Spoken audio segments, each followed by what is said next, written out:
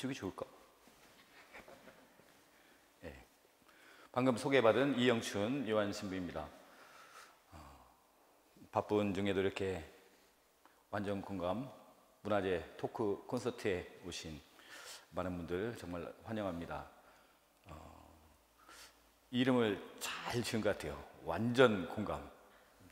완주 전주를 합쳐서 완주 완주 전주 완전 공감 이렇게 이름을 붙인 것 같은데 정말 잘 지었어요. 제가 생각해도 오늘 토크 콘서트를 통해서 완전 공감을 이루어야 될 텐데 불완전 공감이 되면 안 돼. 근데 이런 것들을 통해서 공감할 수 있지 않, 을까 싶습니다. 그리고 국립완주문화재연구소에서 특히 이 전북 지역의 문화재에 대해서 관심 가져주시고 어, 천주교 문화유산에 대해서 관심 가져주심에 깊이 또 감사드립니다. 이런 기회를 통해서 천주교가 사실 우리 한국에 들어온 지가 이제 230년이 이제 넘어서 어, 우리 한국 사람들에게 어, 익숙한 종교 그리고 많은 그 문화적인 것들이 공유되고 했던 것들이 많이 있죠. 그러나 아직 사실 알려지지 않은 것들이 많이 있고 어, 천주교에 대해서 알지 못하는 것도 많이 있고 어, 그런 유산에 대해서 많이 알지 못하는 것들이 있긴 해요. 그런 것들이 이런 기회를 통해서 더 많이 알게 되고 또 공감하게 되고 어, 천주교 문화유산이 천주교만의 유산이 아니고 우리 모두의 문화유산이라는 것을 인식하고 또 지켜가고 했으면 좋겠다 하는 생각이 듭니다. 그런 바람으로 이렇게 오늘 어, 참 미약하지만 강의를 준비한 것을 이렇게 나누도록 하겠습니다. 제가 혹시 실수를 한다 하더라도 너그럽게 용서해 주시고 이해해 주시면 좋겠어요. 그것도 또 공감이죠. 공감. 여기에 전동본당 남종기 신님이 와 계셔서 제가 상당히 지금 두렵고 떨리는 마음이 있습니다. 참 그분이 전문가신데 남종기 신님 한번 인사 한번 해주세요. 아 예. 그리고 초남이 성지에 우리 오성기 신부님도 오셨고 문화재연수 소장님이신 유재현 소장님도 오셨습니다. 예. 뭐 소개하려고 제가 한 것은 아니고요. 오늘 주제 아까 사회자께서 말씀하시는데 전북 지역 천주교 문화예산의 가치, 조선 후기 천주교의 전래 과정, 신의 진선 사건을 중심으로 준비를 했습니다. 음, 먼저 음, 작년에 있었던 어, 놀라운 발견, 우리에게 준 선물에 대해서 한번 보도록 하겠습니다. 한국 최초의 순교자, 음, 천주교 순교자죠. 한국 최초의 순교자인 윤주충 바오로 권상인 야고보 또 1801년 신유년 박해 때 순교한 윤지연 프란치스코 그러니까 윤주충 바오로 이분의 동생이죠. 이분의 묘가 발견이 됐고 그 묘에서 유해와 유물이 발견이 됐습니다. 작년 2021년 3월 11일. 뭐 날짜가 잘못됐네. 2021년인데 올해 2022년 이렇게 썼네요. 이런 건 나중에 다 편집을 하죠? 예? 대답이 없으시고. 어, 참 우리 천주교로서는 특별한 선물이었고 우리 전주 교구뿐만 아니라 한국 천주교회 그리고 완주군에서도 참 특별한 관심을 가셨고 또 문화청에서도 특별한 관심을 가진 그런 발견이었습니다. 음, 전북 완주군, 완주군 이섬의 남계리 169-17번지 위성 사진으로 보면 이런 곳인데 어, 169-17번지가 이런 모습으로 되어 있습니다. 어, 이것은 발견하기 전의 모습인데 어, 임야로 되어 있는 곳이죠. 이쪽은 이제 밭이고 초남이 성지에서 약 한 900m 정도 떨어진 곳이 있습니다. 여기 묘가 이 164, 17번지 안에 묘가 그 육안으로 보이기에 1, 2, 3, 4, 5, 6, 7, 8, 9, 10 10기의 묘가 있었어요. 이 땅은 국유지로 되어 있는 땅입니다. 국가 소유의 땅인데 초남, 어, 치명자 산에 묻혀 계신 유한검 아우치노 가족의 묘가 원래 있던 곳으로 알려져 있던 곳이죠. 어떻게 해서 그렇게 알려져 있었냐면 이땅 병육수다 17번지 옆에 이제 지금 이 땅하고 이 땅이죠. 이 땅.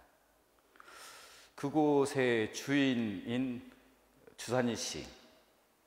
그분은 돌아가셨는데 그분이 이제 일제 시대가 끝나고 땅을 불화받고 그럴 때 이 땅을 매입을 했는데 이 가운데에는 중요한 분들의 묘가 있기 때문에 매입을 하지 않고 양 옆으로만 매입해서 농사를 짓고 살았어요. 근데 이제 그것을 그분이 어떻게 알고 계셨는지는 모르겠지만 여기에 중요한 분들의 묘가 있다. 천주교 묘인데 세 개의 묘가 있는데 중요한 분들의 묘다. 이분이 알고 있었죠. 신자가 아닌데 천주교 신자가 아닌데 알고 있었습니다. 네, 1998년부터 우리 천주교구에서 그곳을 초남이 성지를 성역화하기 위해서 그쪽에 신부님을 파견했는데 초대 신부님이 김한철 스테파노 신부님 그쪽에 부임해서 이제 활동을 하시죠. 신부님이 와서 활동을 하시니까 이 주산이 씨 이분이 신부님께 그런 말씀을 한 것이죠. 이곳에 천주교 신자들 유명한 분의 무덤이 세 개가 있습니다. 이런 얘기를 했어요. 이제 김한철 신부님은 그것을 잘 믿진 않았지만 음, 그렇게 말씀을 하시니까 뭐 긴가민가 했다고 그러죠. 그런데 주산희 씨 그분이 계속해서 말씀을 뭐 이 김한철 신부님이 여러 차례 말씀하실 때마다 조금씩 얘기가 달라지긴 하는데 어느 날 주막을 딱 들었는데 이분이 주막을 잘 안 들었는데 주막 저도 주막을 좋아합니다만 주막을 이 주산희 씨 이분이 거기에 계시다가 신부님이 들어오시니까 너무 반가워서 신부님 또 주산희 씨 이분이 또 이걸 또 좋아하셔가지고 오늘은 제가 가서 직접 알려드릴 테니까 오세요. 가지고 모시고 가서 이것을 이제 정확히 찍어서 이렇게 알려줬다고 그럽니다. 그런데 김한철 신부님 가서 봤을 때는 봉분이 그렇게 높지가 않고 묘가 뭐 있는 듯 없는 듯 그렇게 있었다고 그러죠. 근데 찍어서까지 말씀을 해주시니까 아, 진짠가 보다. 그래서 교회 상구를 오랫동안 하신 김지도 신부님을 찾아가서 이런 얘기가 있는데 한번 조사를 해보세요. 그리고 이제 김지도 신부님이 와서 조사를 했는데 그때 뭐 이것을 발굴하거나 그럴 생각을 하지는 못했고 아주 오래전 얘기니까 음, 자료나 이런 것을 다 뒤져본 뒤에 여기 이쪽 바우백이 이 지역 지명 이름이 바우백인데 여기에 뭐 그런 묘가 있다는 것을 들어보지 못했고 1914년에 일제시대 때뭐 유한검 가족묘 일곱 기를 치명자산으로 옮겼다는 기록이 있는데 그리고 그 당시 전동성당 신부님인 보드네 신부님이 이 지역을 와서 유한검 가족묘를 여러 번 봤었고 1914년에 이제 그런 일이 있을 때 그 전동 보드네 신부님이 모시고 가서 치명자산에 모셨다는 그런 기록들이 있고 아마 유한검 가족묘를 얘기를 하는 것 같다. 그걸 기억하고 그 얘기를 하는 것 같다.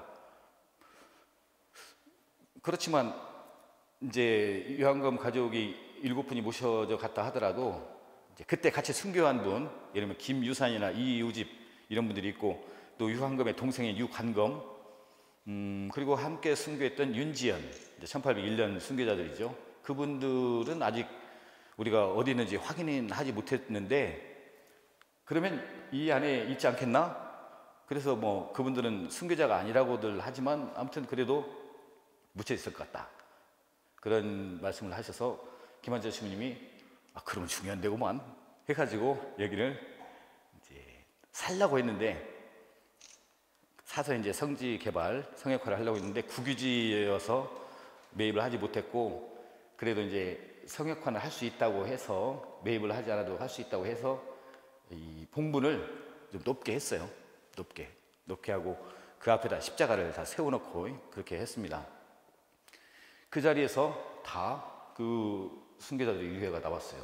아, 참.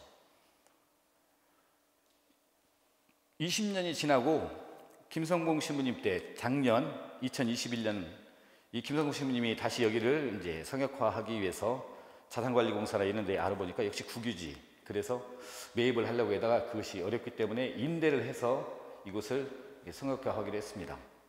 실행을 한 거죠.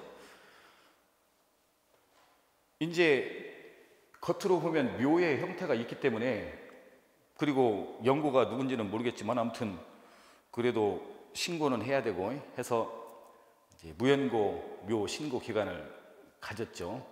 가졌더니 일기 1호와 2호 이 묘의 주인이 있다고 나타나서 제외시켰고 나머지는 안 나타났죠.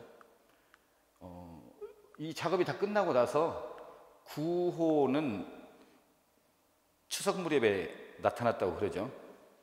그래서 이제 유해를 모시고 갔고 아무튼 어, 무연고 신고 기간이 지나서도 이제 다른 묘가 주인이 나타나지 않아서 이장업체를 불러서 이제 다 정리를 하도록 했는데 이장업체가 정리를 하면서 실제로 유해가 나온 겁니다. 이렇게 초기 모습이 그렇죠. 음, 김한철 신님이 봉분을 세우고 십자가를 하나, 둘, 셋, 네 개, 여기까지 세웠습니다. 이게 이제 영역이 이만큼 되니까. 근데 그 주산희 씨가 찍어준 곳은 이곳, 이곳, 이곳이었다고 그러죠. 그런데 바로 이 세 곳에서 다그 승계자들 유해와 유물이 나왔습니다. 참 놀라운 일이죠. 어, 이 장업체들이 그 일을 하면서 이게 중요한 분의 무덤이고 유해고 유물이라는 것을 모른 상태에서 일이 다 끝났고 이제 지석 사발도 나왔고 또 뭔가 그냥 제기 접시 그것도 나오고 했는데 이게 한문을 읽어 봤겠지만 그래도 알만한 분들이 아니기 때문에 그냥 지나갔는데 김성봉 신부님이 나중에 그걸 보고 깜짝 놀래서 이제 확인을 해본 것이죠. 거기에 윤지춘과 권상현 이름이 써 있으니까 허, 네가 여기서 왜 나와? 뭐 이런 노래가 생각나듯이 정말 그것이 왜 나왔지? 두 눈을 보고도 믿겨지지 않는 그런 상황. 사실 김성모 시님이 처음 그 백자사발 지석을 봤을 때 눈에 들어온 것은 그 보록이라는 글씨였답니다. 보록, 보록. 이제 보록 한문으로 보록인데 바오로 우리 천주교 세례명 중에 바오로를 한문으로 표기한 것이 보록이죠, 보록. 근데 이 김성구 시님이 이 보록이라는 것이 바오로를 한자로 표기한 것이라는 것을 알았기 때문에 관심을 가진 것이죠.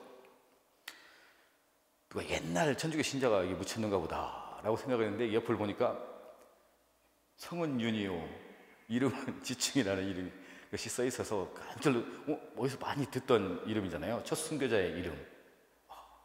옆에 다른 백사사발 지석을 봤는데 그것은 권상이라고 써 있고 그래서 이 첫 순교자들의 유해이고 묘이고 유물인가 보다.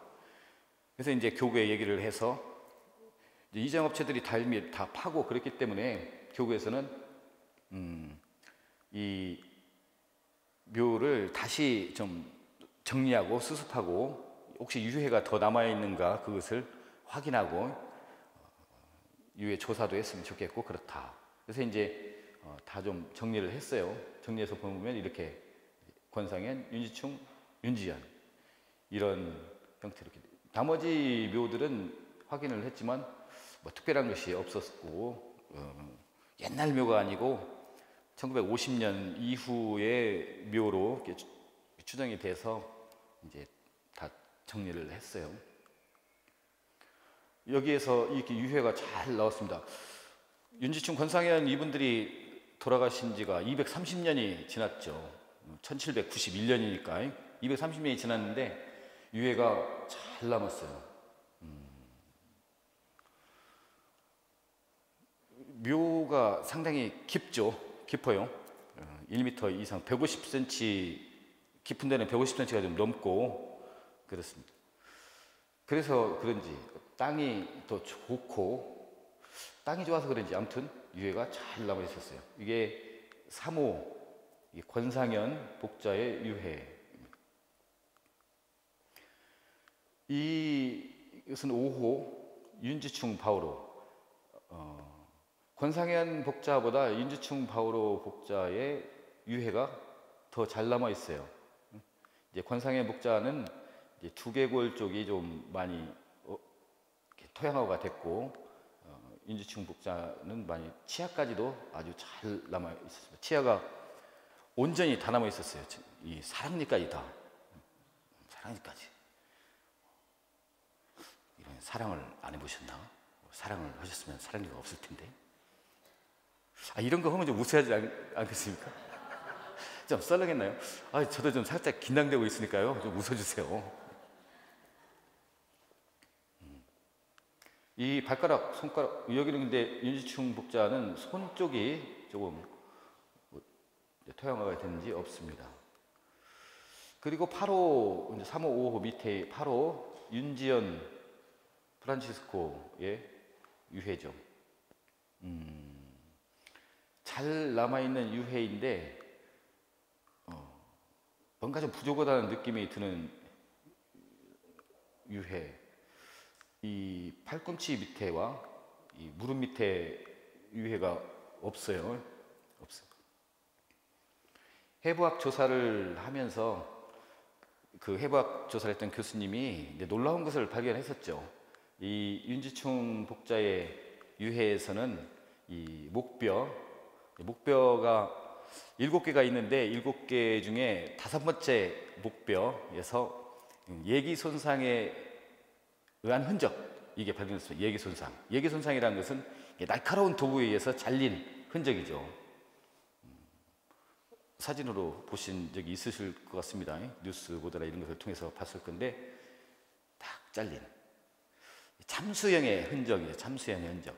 이 윤주청 권상인 이분들이 1791년에 참수형으로 순교했다고 하는 기록이 있는데 그 흔적을 발견했고 이 바로 윤지현 프란치스코에서는 두 번째 목표에 역시 예기 손상에 의한 흔적이 발견됐고 이 팔꿈치와 무릎 이쪽에 또 예기 손상에 의한 흔적이 발견됐습니다. 뭔가 이렇게 날카로운 것으로 이렇게 팔과 다리를 자른 것이죠. 자른 거, 자른 흔적이 있습니다. 오늘 뭐 사진을 준비를 했는데 어, 이것을 전문가들이 보고 음, 이것은 능지처참의 흔적인 것 같다. 능지처참. 실제로 윤지현 프란치스코는 1801년 전통성당 이 터에서 유한검 아우스티노와 함께 능지처참으로 순교한 것으로 나와 있죠. 어, 그래서 목을 자르고 그 다음에 이 팔다리를 자르는 어, 여섯 조각으로 우리 몸을 자르는 그런 형벌이죠. 능지처참. 아무튼 이 세 분의 묘 발견과 함께 유해도 온전한 것을 발견한 것이 참 큰 뭐라 할까 우리 천주교로 말해서 은총이고 또 우리 모두에게는 참 어, 중요한 선물이다 하는 생각이 듭니다. 그리고 그것만이 아니고 우리가 역사 자료로서만 이렇게 들었던 참수형의 흔적, 능지처참의 흔적 그것을 직접 눈으로 확인할 수 있다는 것 자체가 또 정말 기쁜 일이고 감사한 일이지 않겠나 생각을 합니다.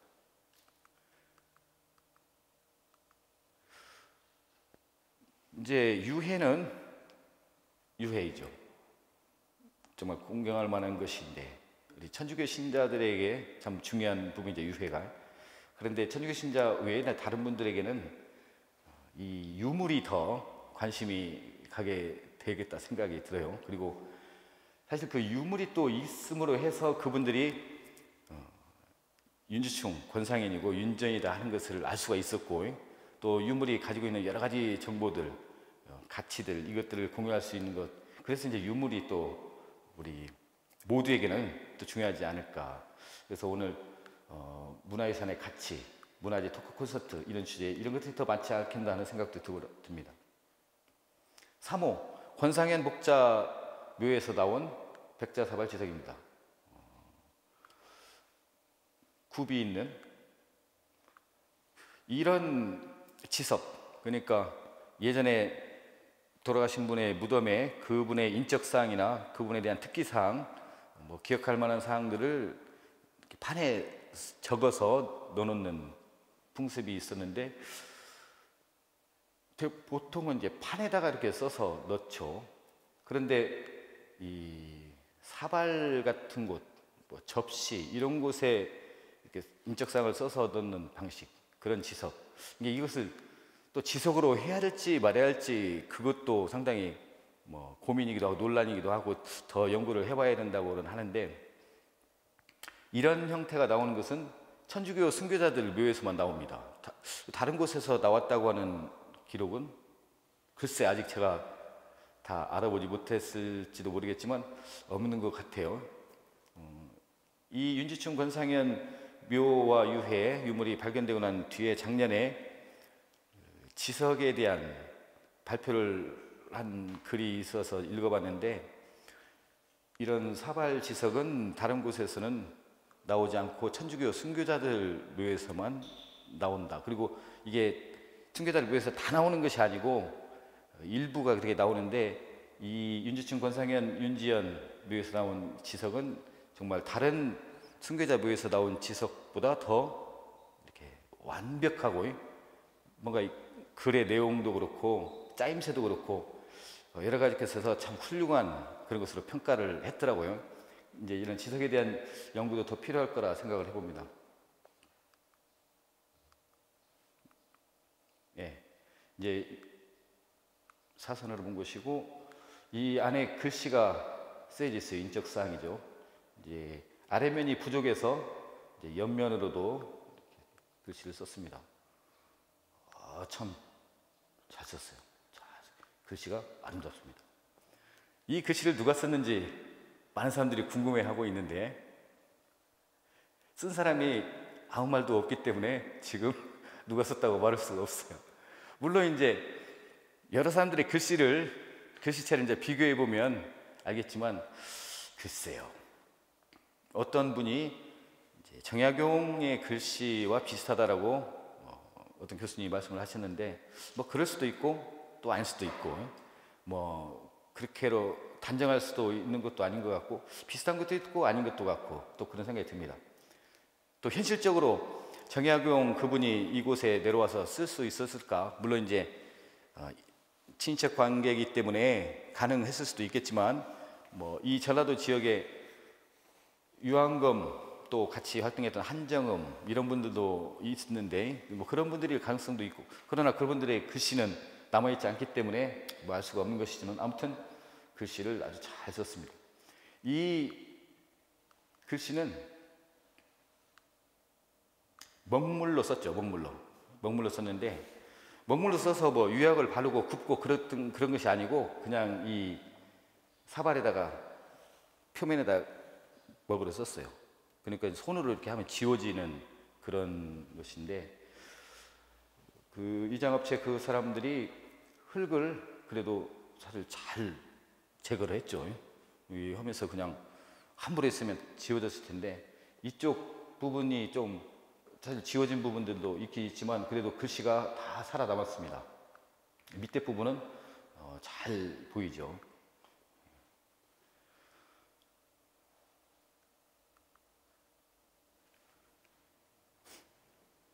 제가 이 PPT 준비하면서 여러 가지 많이 공부를 했습니다. 이렇게 막 올라오는 것도 있고 내려가는 것도 있고 막 뛰어서 오는 것도 있고 막 그렇더라고요. 그렇게 하면 더 좋더라고요, 이게.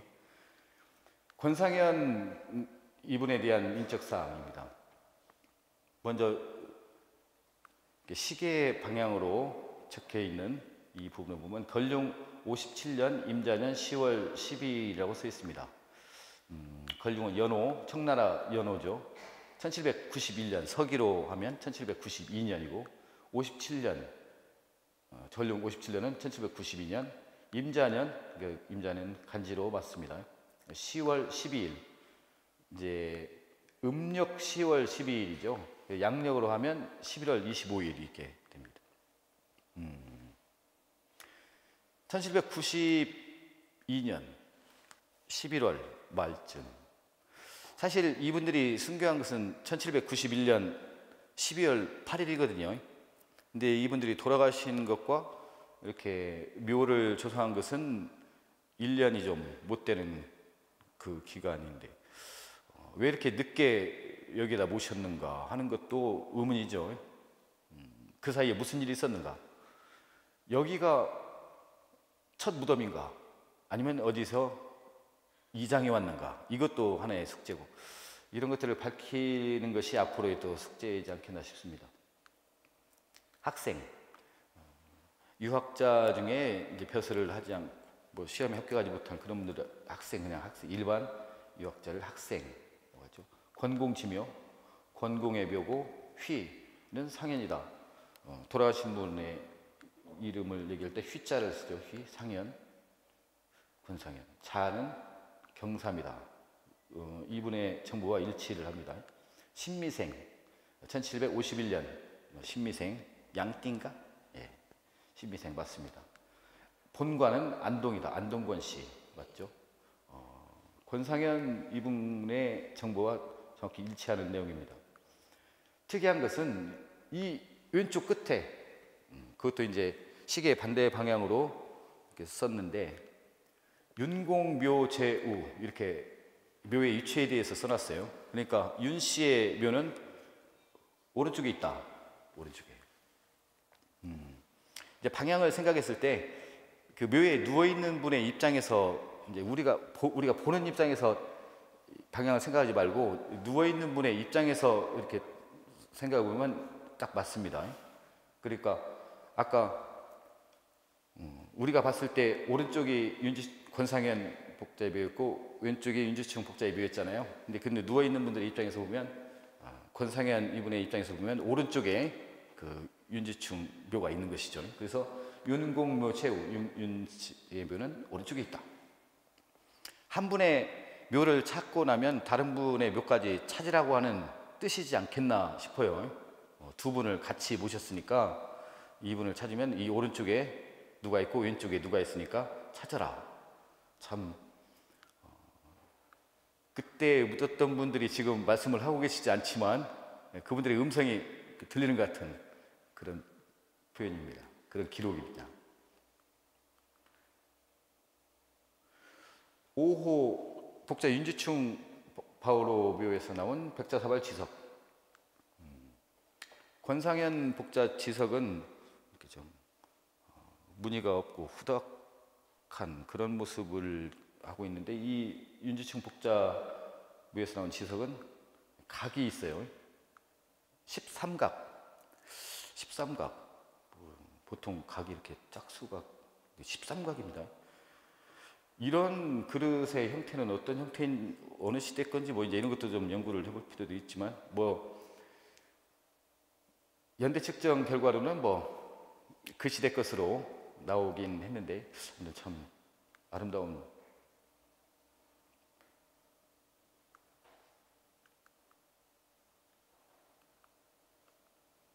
위에서 보면 이렇게 이고 옆에서 보면 이런 식입니다. 역시나 어, 밑에 글씨가 써 있고 어, 옆쪽으로도 글씨가 써져 있습니다.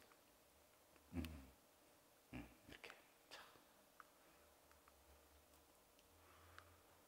어, 내용을 보면 오른쪽은 이 묘를 조성한 연대, 아까 권상의 국자와 똑같고 내용에서는 성균 생원, 성균관에 등록된 생원, 생원시에 합격한 분으로 되어 있죠.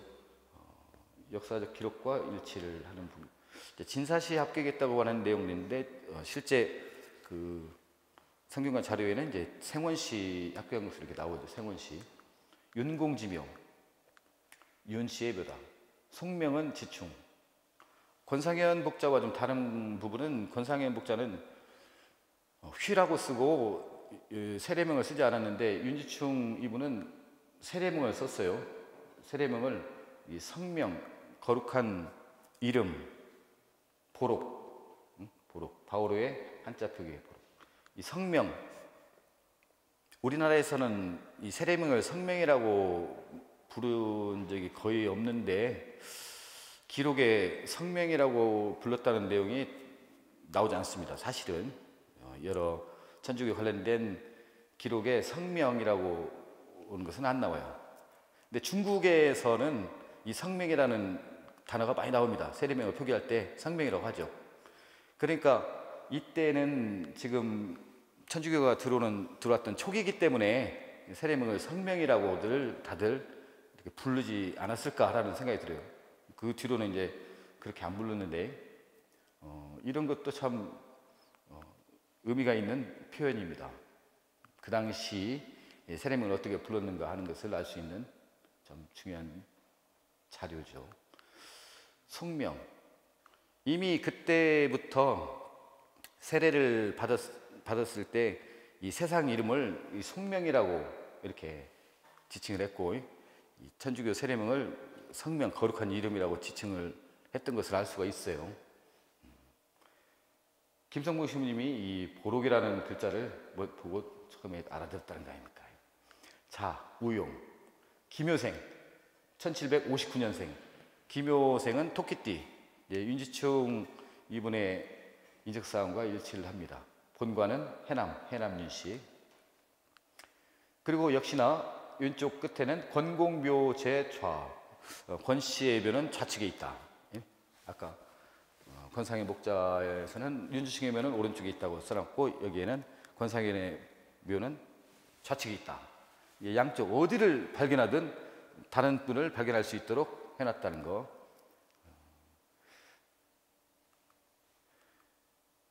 그리고 8호, 8호 윤지연 프란치스코, 이제 권상현, 윤지충 이분보다 10년 뒤에 돌아가신 분, 승계하신 분이죠. 유한검 복자와 함께 승계하신 분인데 그 묘에서는 이런 접시가 나와서 접시 이렇게 포개져서 나왔다고 그럽니다. 이게 밑에 있던 것이고 이게 위에 있던 것이 위에 있는 접시가 이렇게 이제 각이 있고 각이 있는 굽다리 그, 그리고 이제 이게 밑에 있는 건데 위에 있는 접시 이 날이 좀 깨져 있죠. 이것은 일부러 깬 것 같습니다. 깨진 형태를 보면 덮을 때 잘 아구가 맞을 수 있도록 한 것 같다는 생각이 들고 이 안에 검은 것이 있는데 이건 그 발굴 당시에는 이 보다 좀 많았다고 그러죠. 이 검은 것이 제 숟가루, 숟가루, 제 식물을 태운 제 가루 숟가루라고 해야죠. 이 나무를 태운 것이라기보다도 어떤 식물을 태운 것 같은데 어, 떤 것을 태웠는지는 아직 조사하지 않았는데 어, 그런 것들을 한번 조사할 필요가 있는데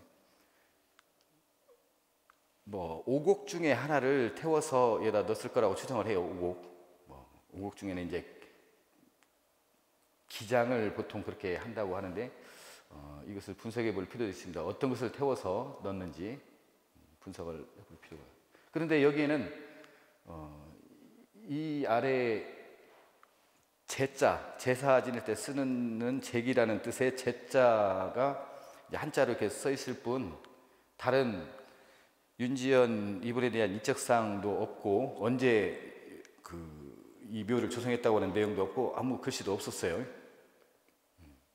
그런데 이런 제기 접시가 1801년 유한검 가족들의 묘를 확인했을 때 나온 접시들하고 좀 비슷한 그런 것이 있어서 어, 순교자들 윤주충 권상현 순교자들과 좀 연관 있는 분이 아닐까. 그리고 그 당시 그 무렵에 돌아가신 분의 무덤이 아닐까라고 처음에 추정을 했고 여기에 아무것도 써있지 않았기 때문에 이제 유해를 검사를 하면서 DNA까지 검사를 하면서 이분이 윤지연 프란치스코라는 결론을 내렸어요. 사실 이 유물만 가지고는 알 수가 없었습니다. 유해 조사까지 하면서 그것을 알 수가 있었죠.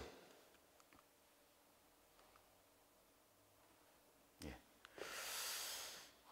여기까지 봤는데 아무튼 작년 2021년 3월 11일에 발견된 그 한국 첫 순교자 묘, 유해, 유물 이것은 정말 우리에게 참 놀라움을 줬고 또 감사함을 느끼게 했고 그런데 이 묘와 유해, 유물만 가지고는 뭐 그 중요한 가치를 우리가 알 수가 없을 거라 생각이 들어요. 거기에 관련된 사건, 거기에 관련된 인물, 이것이 중요하기 때문에 그 묘와 유해와 유물도 중요하지 않겠어요? 안 그렇습니까? 대답도 없으시고. 그렇죠. 어, 우리가 우리 천주교에서 쓰고 있는 십자가가 많이 있지만 어, 모든 십자가가 다 중요한 것이 아니고, 예? 그렇죠.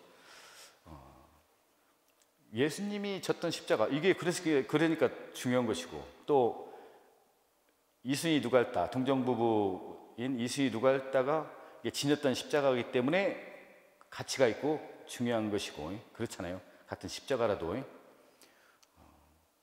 이 마이크가 세상에 많이 있지만 영춘이가 오늘 잡은 마이크이기 때문에 이 마이크도 중요하지 않겠습니까? 요즘은 이 연예인 팬, 연예인 팬들 을 좋아하는 사람들끼리 모임 있잖아요. 연예인을 좋아하는 사람들끼리 모인 팬.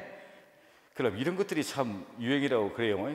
그래서 전혀 모르는 사람인데 갑자기 그 같은 연예인 팬이라고 해서 만나서 이렇게 밥도 먹고 술도 마시고 그런다고 그럽니다. 같은 연예인을 좋아한다는 그 이유로 헐. 그리고 모여가지고 그 연예인이 뭐 무슨 음식을 좋아한다, 뭘 가지고 있다, 이것을 다 공유하고 그래서 소중하게 생각한다고 하는 거 아닙니까? 저는 개인적으로는 태연을 좋아합니다.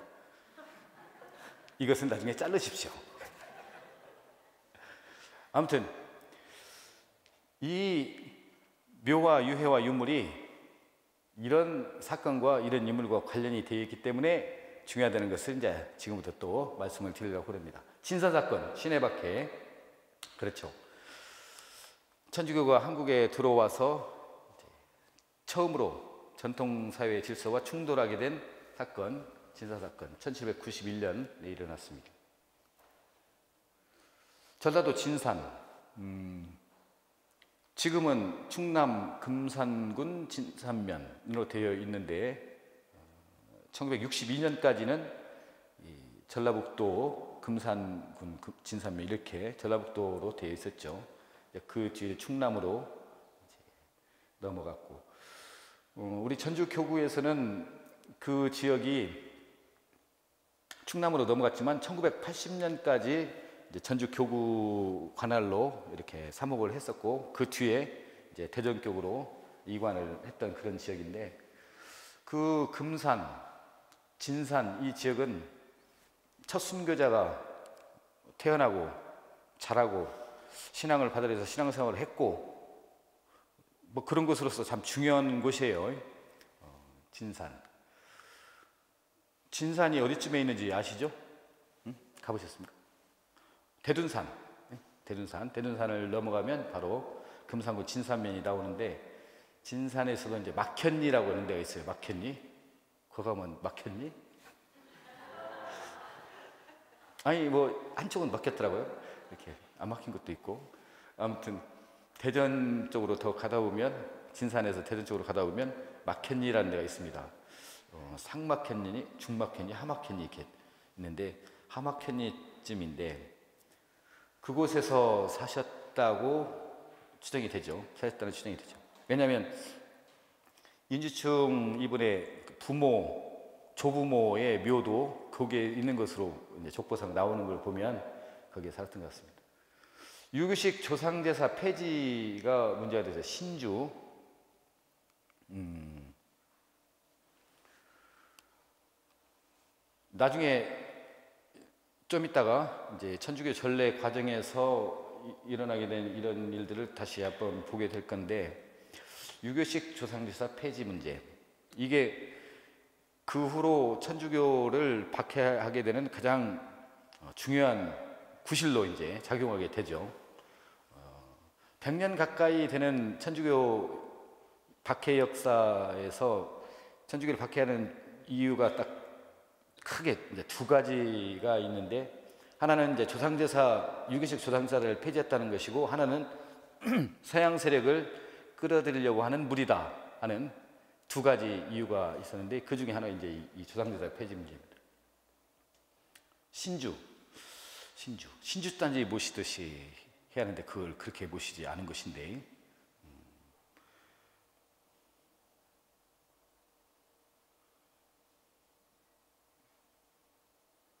유교 아까 남정기 신부님이 유호교 전문가신데 한번 나중에 그런 것에 대해서 좀 들어볼 필요가 있을 것 같다는 생각도 들어요.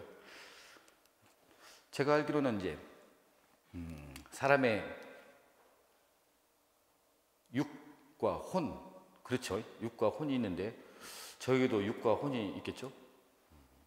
사람이 죽으면 육은 묻혀서 이제 흙이 되는데 중요한 게 혼이 이제 어떻게 되느냐 그것이 문제겠잖아요.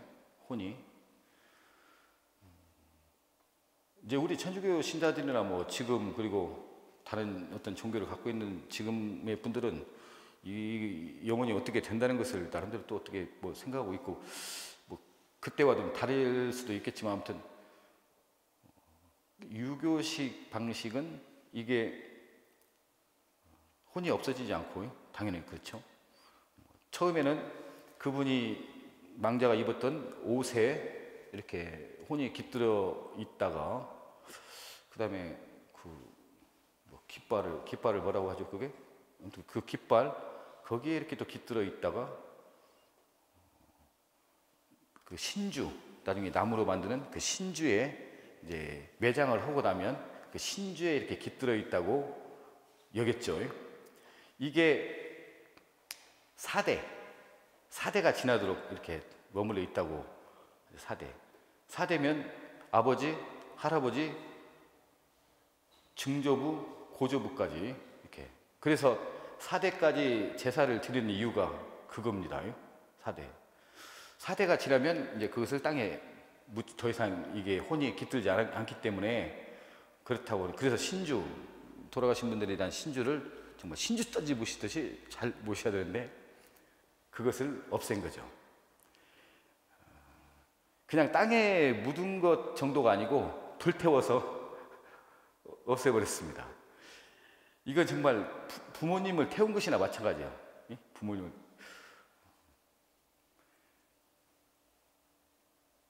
윤지충 바오로 권상현 야고보. 윤지충 바오로의 어머니가 돌아가셨을 때 이제 그 일이 발생했죠.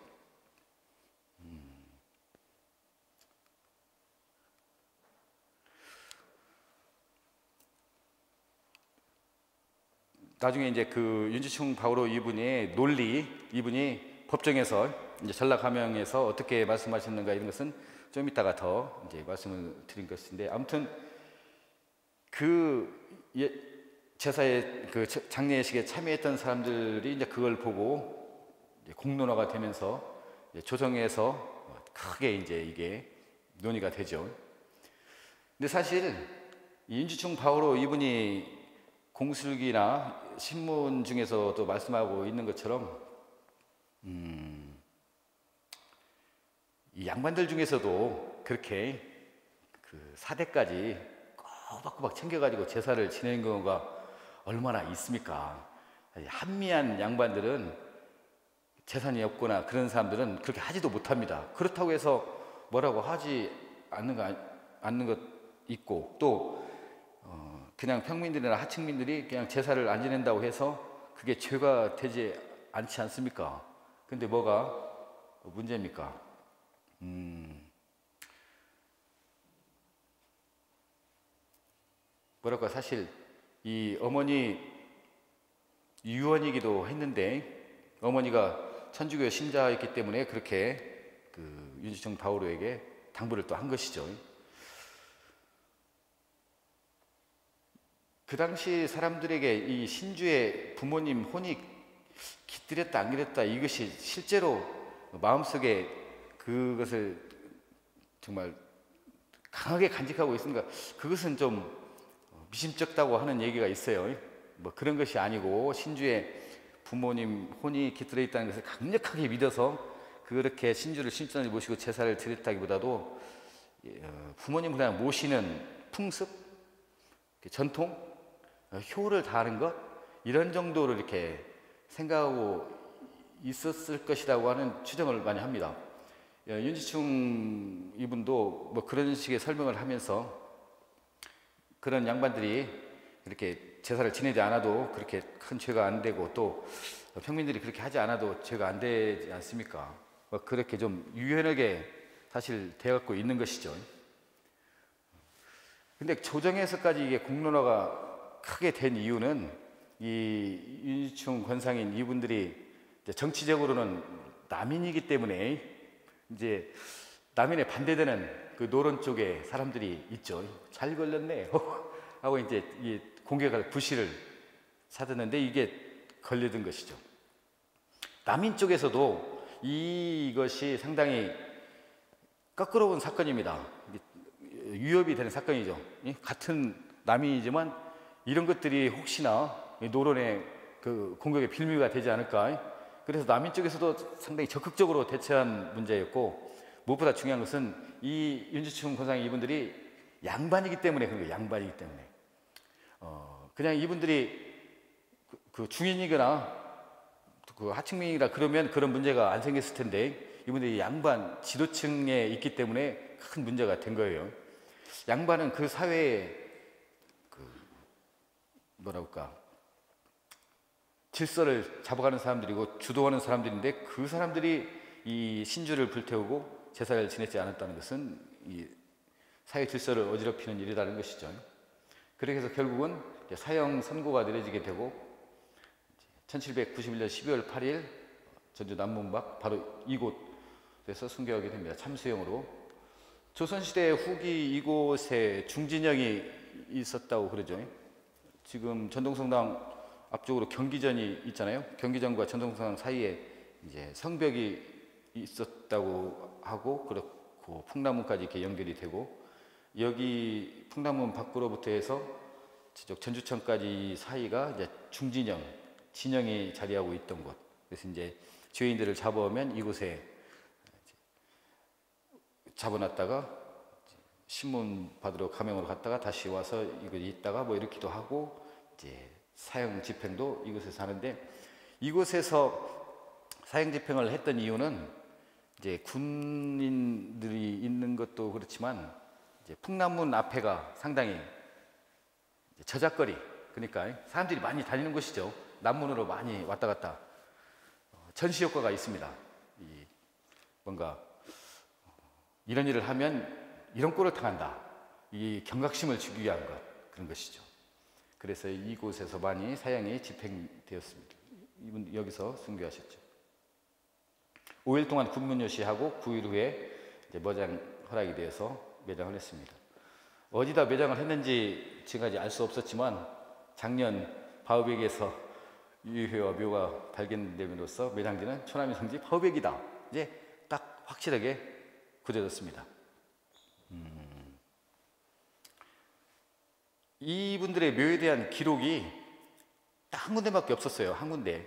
1801년 신유년 밖에 때 천주교 신자들을 잡아다가 문초한 기록인 사학증이 거기에 유한검의 동생인 유관검 이분을 신문하는 내용에서 그 부분이 나오죠. 유관검 이분이 중국인 중무모 신부님을 모시고 오면서 어디로 모시고 갔는지는 안 나와요. 그 참 그런 주소나 이런 것을 자세히 써놨으면 지금 우리가 고생을 안 할 텐데 아무튼 근데 신문을 받을 때는 상당히 많은 정보들을 이렇게 숨기고 얘기를 하는 경우가 많이 있습니다. 실제로. 그러니까 그 신문 기록 같은 걸 볼 때에는 그런 부분을 상당히 감안을 해야 되죠. 이렇게 이름, 그 다음에 지명, 이런 것들을 가짜로 얘기할 때가 많이 있다는 것을 좀 감안을 하고 이르게 합니다. 왜냐하면 살아있는 사람일 경우 피해를 주지 않기 위해서 그런 것이죠. 그리고 지명 같은 경우에는 노출이 되면 또 안 되는 것이 있기 때문에 그런 것들은 상당히 그 얘기하기를 꺼리고 사람에 대해서 얘기할 때도 죽은 사람, 이미 세상을 떠난 사람에 대해서 얘기하는 경우가 많죠. 아무튼 주무신님을 모시고 거기 한문 표현이 향제라고 되어 있어요. 향제, 향제. 근데 향제는 그 뜻을 보면 그냥 고향집으로 이렇게 해석이 되던데 향제, 고향집. 근데 이제 이거 문맥에 따라서 시골로도 번역이 되고 뭐 고향으로도 번역이 되고 뭐 이렇게 여러 것으로 번역이 될 수 있는데 아무튼 거기로 모시고 가다가 이 두 분의 무덤을 지나게 되었다. 유관검 이분이 이분들이 우리 천주교에서 유명한 분들의 무덤입니다. 그러니까 주호모 주부님이 아, 그렇습니까? 그러면 나중에 천주교가 성행하게 되면 이분들의 유해는 성당 안으로 들어가야 합니다. 모셔져야 됩니다. 그리고 뭐 이곳에는 또 천주당이 성당이 세워져야 됩니다. 하는 말씀을 하고 지나갔다고 하는 내용이 있어요.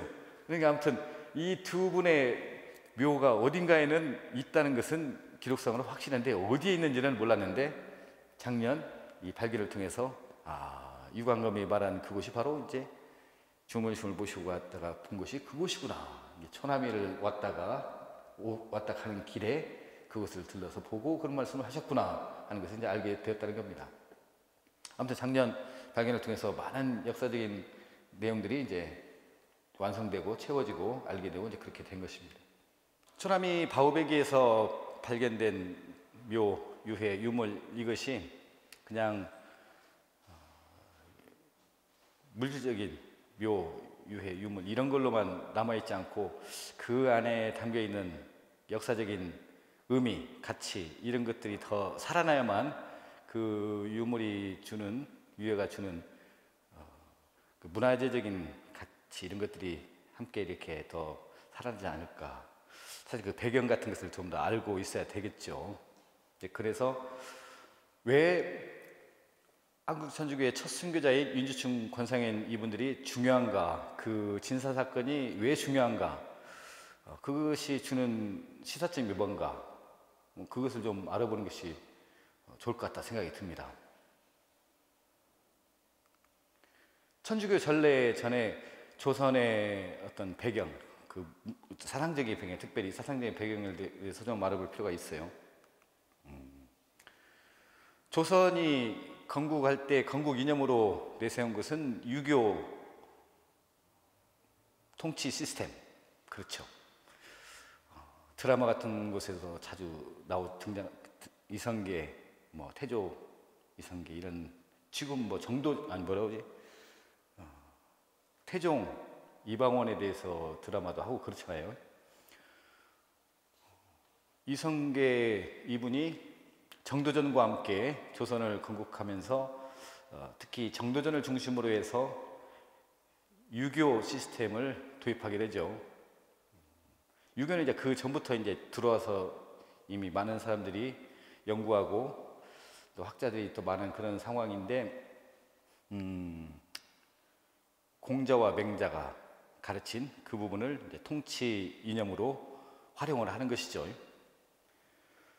주작 성리학 일변도의 사회가 이제 조선 사회라고 부르는데 물론 어떤 사회든지 한 가지로만 쭉 가지는 않았겠지만 대부분의 통치 시스템을 구성하고 있는 것들이 이 주작 성리학이었다는 것이겠죠.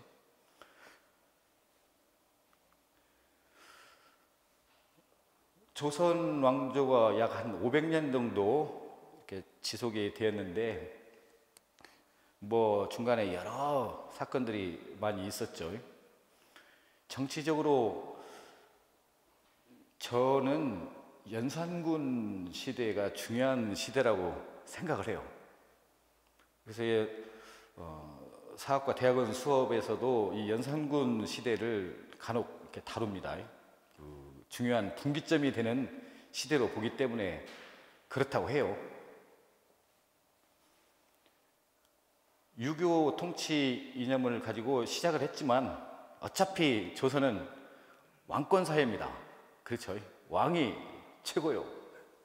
뭐 신하들 뭐 신권에 대해서도 얘기하고 그렇지만 왕권 중심의 사회에서는 왕이 최고죠 뭐. 태조 이성계, 태종 이방원, 뭐 세종대왕, 그다음에 나중에 세조 다 사실은 왕권을 강화했던 그런 왕들로 우리가 알고 있고 그렇지 않습니까? 그러나 왕권을 강화하고 그러고 있는 사이에 또 이렇게 신하들도 그렇지만 뭐 이제 주작을 공부하는 이런 성경을 공부하는 사람들 학자들도 상당한 새를 이제 가지게 되죠. 연산군. 연산군 하면 무슨 생각이 듭니까? 이 토크 콘서트니까 물어보기도 하고 그래야 될 텐데. 폭군, 폭군의 이미지가 일단 딱 떠오르죠. 매시, 막 활로 쏴서. 또 뭐라 오지? 학자들을 무참하게 죽인 그런 왕. 두 번의 사화가 있었잖아요. 어, 무호사화, 갑자사화. 이런 사화도 있고 뭐 그랬는데, 어, 좀 이따 나와요. 응. 조선의 10대 왕, 1494년에서 1706년. 그런데 연산군이 그렇게 많이 뭐 통치를 하진 않았지만 폭군으로 인식되고 있고 그렇지만 이 시대가 중요한 시대인데 연산군이 꿈꾸던 나라가 있어요. 어, 실록 이제 이, 이 부분은 이제 연, 실록이 아니고 연산군 일기로 되어 있죠. 이제 그 부분을 보면 연산군에 대한 안 좋은 것만 많이 써놓은 것이 있는데 어, 그 중에서도 이제 사평이라고 하는 것이 있습니다. 사평. 사평은 이 사가가 평을 해놓은 그런 대목들이 있는데 참 그것도 흥미로운 부분인데 그런 것들을 읽어보면 고지 것들을 믿으면 참 이 양반 폭군이다 생각을 할 수도 있는데 또 가만히 뜯어보면 전후 사정을 다 살펴보고 팩트 체크를 해보면 이게 전혀 팩트하고 또 안 맞는 것도 많이 있어요. 그러니까 그 사가들이 일부러 언론 조작 같은 그런 느낌이 들 정도로 해놓는 것들이 있어요. 그리고 연산군에 대해서 끊임없이 공격하는 대목들이 많이 있는데 가장 결정적으로는 인륜을 저버린 왕이다라고 하는 것이 이제 인륜을 저버린 어. 나중에는 성추행까지도 막 나오잖아요. 지금 표현하면 성추행인데 아무튼 그런 어떤 왕, 그 물란한 사생활이 물란하고 그런 것까지도 이제 공격하다 공격하다 안 되면 그런 것까지도 나오게 될 수도 있어요. 아무튼 이 연, 그런데 연산군을 잘 보면 참 무리한 일들을 많이 했지만 황제를 꿈꾼 겁니다. 황제. 그냥 왕이 왕 정도가 아니고 황제, 중국 황제가 되고 중국 황제와 같은 그런 황제가 되고 싶은 꿈이 있었던 것 같아요. 하는 것들을 보면 예를 들면 도성 밖을 다 비우라고 하는 거 있잖아요. 도성 밖을 막 비우라고 하는 거. 그것은 황제들이 하는 겁니다. 연애를 베풀고 하는 것들, 이런 모습들, 연애의 규모나 이런 것들을 보면 조금 무리가 많이 가는 일이었겠지만 나는 황제가 되고 싶은. 그리고 무호사와 갑자사와 두 사화를 그래서 연산군이 원했던 것은 이 자꾸 이렇게 간언을 하고 하는 그 신하들을 없애는 것이죠. 없애. 너희들은 나의 명예 그냥 따르기만 하면 돼. 뭐 그렇게 하지 마. 그래서 자꾸 이제 그것을 제거를 하는 것이죠. 근데 연산군의 계획은 성공하지 않고 실패로 끝났죠. 결국 폐위가 됐기 때문에 중종 반정에 의해서 이제 어, 물러나게 되죠. 그 중종이 왕이 되게 되는데 그래서 이제 중종은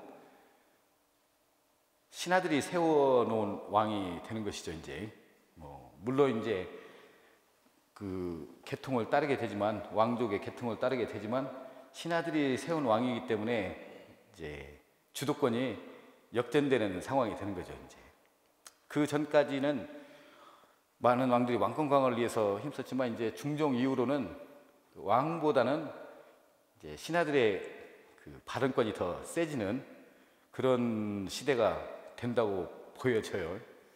물론 이제 또 그렇지 않은 때도 있죠. 있지만 대체적으로 그런 흐름으로 이제 간다고 보여집니다. 연산군이 그래서 어, 중요한 포인트가 되는 왕이다.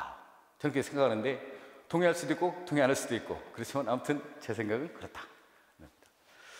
그 후로 조선에 있어서 상당히 큰 데미지가 됐던 사건이 그 임진왜란, 그 병자호란 이 두 사건이라고 생각을 해요.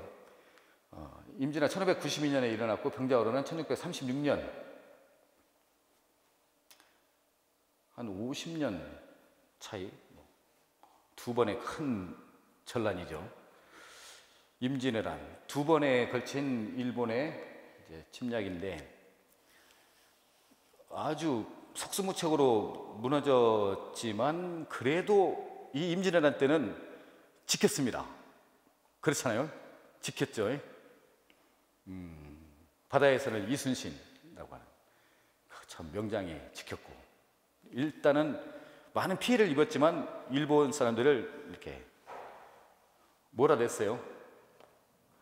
상처 입은 영광인데 아무튼 그래도 이겼다. 그런데 문제는 임진왜란보다 더 문제는 병자호란입니다. 음, 병자호란이 더 문제예요. 자존심을 아주 구기게 만든 사건이 병자호란이죠. 음, 청나라, 후금, 금, 금, 금, 만주족, 만주족. 명나라는 조선이 상당히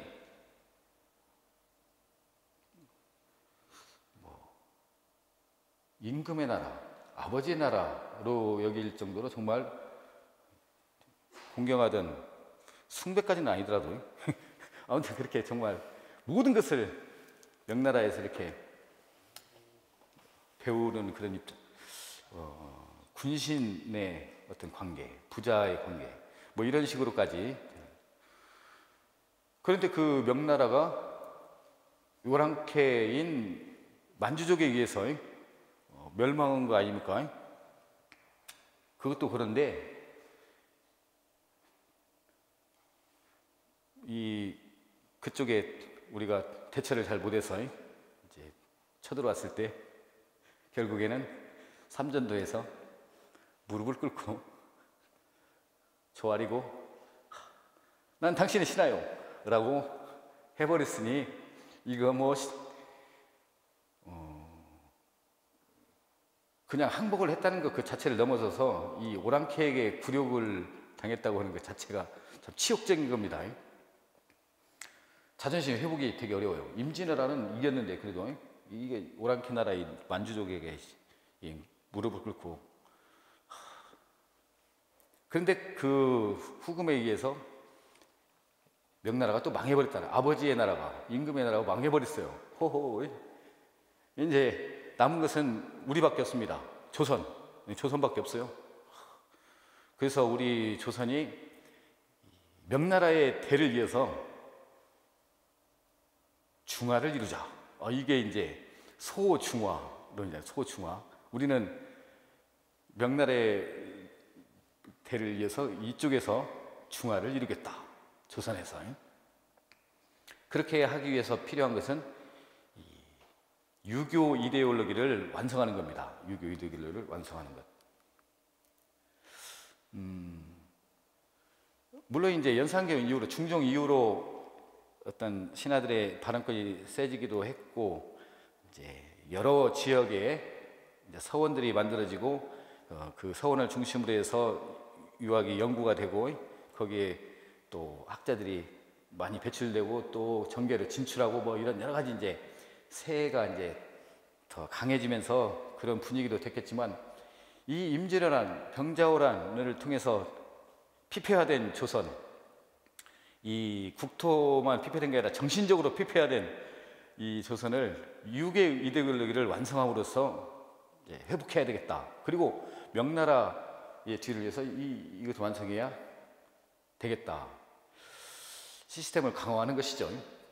그래서 그런 쪽으로 계속 진행이 되는데 사실 이런 움직임, 이런 분위기는 고종 때까지 오죠. 조선 후기까지. 조선, 사실 그러니까 명나라가 망한 지가 지금 몇 년이나 됐어. 그런데 아직도 명나라를 짝사랑하고 있는 그런 이렇게 말을 하면 듣는 사람들이 어떤 분들은 참 우리가 뭐 그렇게까지 뭐 사대주의 했던가 뭐 우리도 참 자존심 있고 독립적으로 이렇게 살았는데 라고 하는 하신 말씀도 있죠. 물론 그런 부분도 많이 있겠죠. 음. 그 환구단, 환구단, 황구대, 황구단 서울에 있는 그 들어보셨을 거예요. 그게 무엇이냐면 명나라 황제에게 제사를 지내는 단이잖아요. 이? 이. 명나라 해가지고 쭉 있어요 이렇게 이렇게 거기에 제사를 때가 되면 조선의 왕이 가서 제사를 지냅니다. 그게 고종 때까지 유지가 되는 것이 황구단 아닙니까? 그러니까 참 이건 짝사랑도 그런 짝사랑이 없다 싶은 거죠. 그런데 성리학 일변도로 유도교 이데올로기를 완성해가면서 부작용이 이제 생기게 되는 거죠. 성리학은 주자가 만든 유교의 한 파죠. 한 파입니다. 다른 나라들은 유교에 여러 악파들이 이렇게 있었는데 우리나라는 유독 성리학 일변도, 주자학 일변도 다른 학파가 자리 못 잡게 했죠. 성리학. 그래서 아까 남종기 여기 분당심님이 남종기 심님의 가기를 한번 드려야 된다는 것이 그런 것인데 이 성리학, 이 유교 논리를 좀 알아야 됩니다. 어, 성리학이 도대체 뭔가? 또 나중에 양명학도 나오면 양명학이 또 뭔가? 이런 것을 좀알 필요가 있어요. 그래야 조선이라는 사회를 알 수가 있습니다. 어떻게 소장님 계획 있으십니까? 앞으로 한번 성리학에 대해서 어, 이와 기, 이와 기, 음, 그렇죠. 성리, 성이 곧 리다. 허, 뭐요? 기가 흩어졌다 모으면서 뭐가 만드는데 그 이. 그런데 성리학적인 그런 그 사유 구조는 이게 뭐라 할까 층이 생기는 사유 구조입니다. 그러니까 성이 이제 정해지는 거죠. 성이 이제 기가 왔다 갔다 하고 움직이면서 이제 성이 딱 정해지는데 성이 정해진 대로 이제 살아가게 되는 겁니다. 이게 어, 역할에 맞는 그 성이 딱 정해지게 돼서 그것이 쭉 이어지는 것이죠. 그러니까 어, 신분 제도를 구성하는 데 아주 유용한 논리이죠. 신분 제도를 완성하는 데 유용한 논리. 지배 체제를 구성하는 데 유용한 논리죠. 어, 왕은 어, 왕의 씨가 있고 씨가 성 그겁니다. 있어요. 뭐 양반의 씨가 또 따로 있고 뭐 천민의 씨가 따로 있죠. 따로 있어. 딱 그 일이 또 정해져 있습니다. 너는 태어나면 태어날 때부터 천민 그래 천민은 예의 하고 태어나지 이렇게 예의 하고 태어나 응애하고 태어나지 않고 예의 하고 태어나고 그 양반은 태어날 때부터도 응애하고 태어나지 않고 이리 오너라 하고 태어나는 겁니다. 어, 죽을 때까지 그렇게 얼마나 깝깝해요. 물론 신분 질서를 유지하는 것이나 통치하는 데 있어서는 그것만큼 좋은 것이 없습니다. 그렇기 때문에 성리학 일변도로 갔을지 몰라요. 근데 거기에 대한 반성이 나오는 것이죠. 북학, 실학, 양명학 이런 것들입니다. 음, 조선 후기로 오면 이제 북학, 어, 북쪽을 배우자. 박재가, 박지원 뭐 이런 분들로 뭐 알려져 있죠. 음, 금이 명나라를 멸망시키고 청나라를 세울 때 세울 그때만 하더라도 오랑캐가 세운 나라가 얼마나 가겠는가? 어? 잘해야 백년 뭐 좀 이따 망하지 않겠는가? 그렇게 생각을 했고 이것들하고는 상종하지 맙시다 라고 했는데 웬걸 안 망하고 잘만 가네. 그리고 청나라에 이제 어쩔 수 없이 사신이 왔다 갔다 이제 하게 되잖아요. 가서 보면 잘 살고 있는 거죠. 이 오랑캐들이 저렇게 잘 사나? 이 배가 아프기도 하면서도 그래도 배워야 할 건 배워야 하지 않겠는가 하는 이런 움직임들이 생기게 된 거죠. 북학. 음, 아무리 오랑캐라 하더라도 배울 것은 배, 배웁시다. 특히 어, 기술 같은 것들은 우리보다 뛰어난 것들이 많이 있는 것 같습니다. 집 짓는 기술이나 뭐 탐사는 기술이나 여러 가지가 참 좋은 것 같습니다. 그런 것들을 좀 배웁시다. 그싼 것들을 학문을 뭐들어 배워? 뭐 이렇게 이제 고래 배울 것 같은데 아무튼 그런 실학, 실학, 어, 실학자 하면 유명한 분이 누굽니까? 응? 이제 자꾸 졸리려고 지금 막 졸고 있어요 지금. 실학자 하면 정약용 뭐 이런 분들이 생각이 나잖아요. 정약용. 근데 실학은 실체가 없어요. 실학은 실체가 없고 그러니까 뭐가 실학이다라고 딱 찍을 수 있는 것이 없고 이건 일종의 보통 명사입니다. 보통 명사 실학.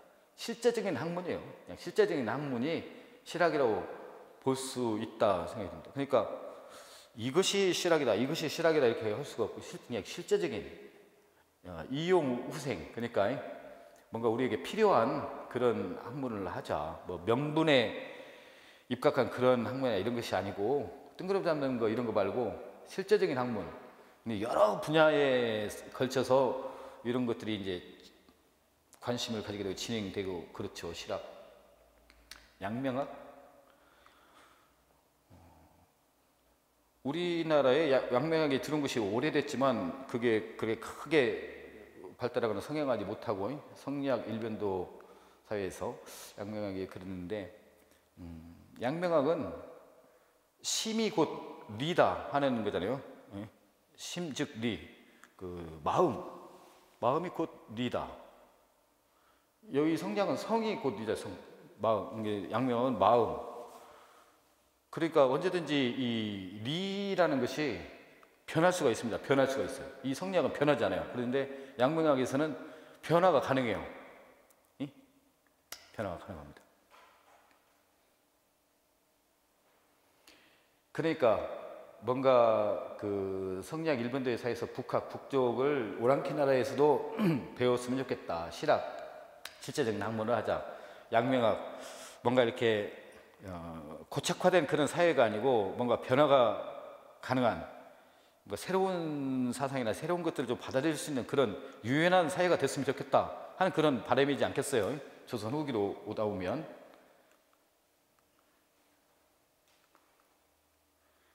그런 중에 천주교와 조선이 만나게 되죠. 음, 카톨릭이라고 하죠. 카톨릭.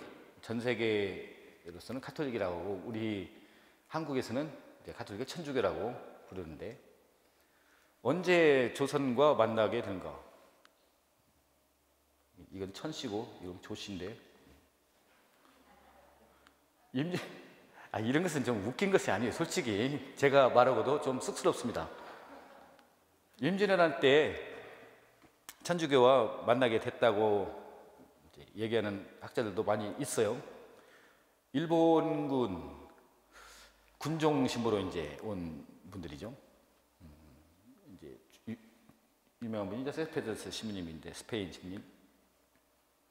일본은 벌써 이제 포르투갈 상인들을 받아들이고 그러면서 이제 상업적으로 그 서양 사람들을 활용하게 되고 특히 무기 이 서양 사람들이 가지고 있는 그 무기 그것이 참 매력적이어서 그걸 이제 받아들이면서 천주교도 같이 받아들이게 되었죠. 그래서 천주교가 일본에 들어간 뒤로 빠른 시간 내에 폭발적인 성장을 하게 됩니다. 특히 나가사키 주변에 천주교가 아주 그냥 크게 성장하게 되죠. 그런데 천주교가 성장할수록 이제 도요토미 히데요시 전국을 통일한 도요토미 히데요시가 위협을 좀 느끼게도 되죠. 어, 통치권 아래에 들어와야 되는데 이 천주교를 믿는 사람들의 영주 그 영주들이 좀 자신의 뜻에 안 맞는 사람들도 있고 뭐 그래. 이것들을 제거하는 좋은 방법은 전쟁을 일으키는 것이 아니겠어요. 물론 이제 무기도 상당히 선진화되었기 때문에 또 가능한 일이었고 전국을 통일하고 나서 이제 할 일은 뭐겠습니까? 명나라 합세 언제 조선한테는 문을 열어달라고 하면서 문을 열어주면 문만 그만을 통과하고 갈 것이지. 아무튼 분탕질을 많이 하고 갔는데 음, 두 번에 걸친 외란 때 이제 군중신문을 청했습니다. 처음에는 막 파죽지세로 치고 올라가다가 나중에 이제 협상하게 되는 그런 좀 지루한 전쟁이 이제 지루하게 될 그때에 그 병사들을 위해서 신문을 추천했는데 세스페드 신문이. 근데 이분이 와서 뭐 조선 어린이 중에 전시 중에 죽기 직전의 어린이들을 세례를 줬다 하는 기록이 나오기도 해요. 한 200명 이상의 어린이를 세례를 줬다. 그런 기록이 있고 어, 또 일본으로 건너간 조선 포로들이 일본에서 천주교를 받아들여서 그곳에서 실제로 신앙생활도 열심히 하고 나중에 순교자들도 나오게 되고 뭐 수사님이나 이런 분들도 이제 나오게 되고 막 그런 것들이 있죠. 어, 일본 가서 순교자들 관계된 것들을 보면 이제 조선 사람들이 있습니다. 이렇게. 그래서 임진왜란 때 한국 천주교가 시작됐다고 얘기하는 사람도 있지만 뭐 좀 회의적이죠. 전시에 어린이들에게 세례를 주고 했다는 기록이 있지만 어디에도 그 실체를 찾아볼 수 없고 어, 그냥 세례 준 것 그 자체가 천주교의 시작은 아니거든요. 우리 천주교의 그 교회 설립이라고 하는 것은 이 세례를 받은 것뿐만 아니라 어떤 신앙 집회가 이루어져야만 그게 어, 천주교 설립이라고 이렇게 공동체 설립이라고 보거든요. 근데 임진왜란 때 한 것은 그냥 세례를 줬다고 하더라도 그걸로 끝난 일이고 그 다음에 일본으로 건너간 포로들이 거기서 세례를 받고 신앙생활하고 순교자도 되고 했던 것은 우리 조선의 역사가 아니고 일본의 역, 일본의 역사입니다. 일본 천주교의 역사. 천주교는 속지주의이기 때문에 그 지역에서 일어나는 역사가 그곳의 역사예요. 다른 데까지 이렇게 관여하지 않고 일본 내에서 일어난 그것이 조선 사람이라 하더라도 일본 천주교의 역사입니다. 우리는 우리, 우리. 만일 우리나라에 지금 뭐 필리핀 사람들이 들어와 있고 다른 동남아시아 이쪽 사람들이 들어와서 여기서 어 신앙 공동체에서 신앙생활을 할 때 여기를 뭐 필리핀 천주교의 역사라고 이렇게 하지 않고 한국 천주교의 역사라고 해요. 속지지, 속지지. 그러나 아무튼 만나기는 했어요. 깊은 만남은 안 됐지만 참 병자호란 때 볼모로 잡혀간 소현세자 중 청나라로 잡혀갔던 소현세자 서, 어, 청나라에 가서 그 서양 문물들을 많이 접하게 되고 특히 그 아담샬 신부님을 만나서 그런 대화도 하고 서양에서 들어온 뭐 천주교 관련된 성물, 책 이런 것들로 많이 얻어서 들어오게 되죠. 그런데 들어오고 나서 얼마 안 돼서 세상을 떠나죠. 소현세자 떠납니다. 그때 돌아가시길 잘했어요, 사실은. 뭐 소현세자가 계속 살아 계셔서 나중에 왕이 돼서 이렇게 이제 조선을 통치를 했다면 천주교가 더 일찍 시작됐을 것이다라고 긍정적으로 보는 분도 있지만 역사에서는 가정이라는 게 없잖아요. 일이 그렇게 흘러간 것인데 뭐 그리고 그게 잘 됐을지 못 됐을지는 뭐 두고 봐야 알 일이 아니겠습니까? 더 어려웠을 수도 있어요.